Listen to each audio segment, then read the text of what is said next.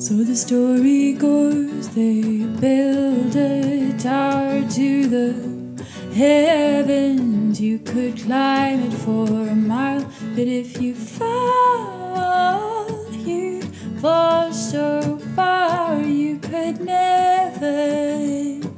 hit, hit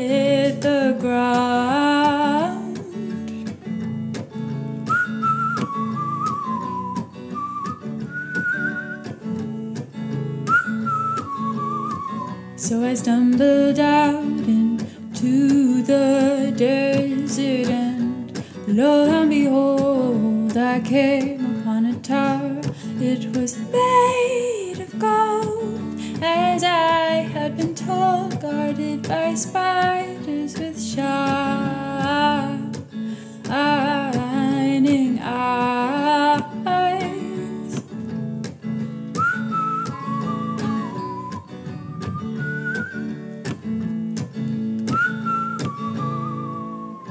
So I sent my shadow out to dance, and by the light of the moon, she put the spiders in a trance, so I could make my way to the foot of the tower and carve my name into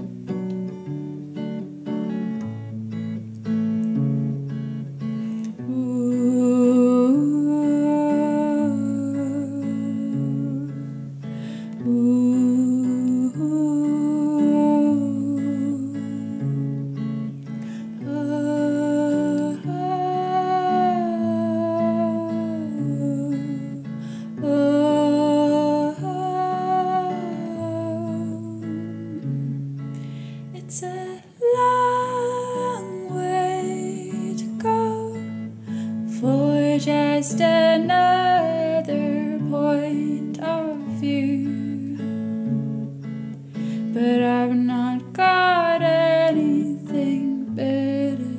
to do, do, do.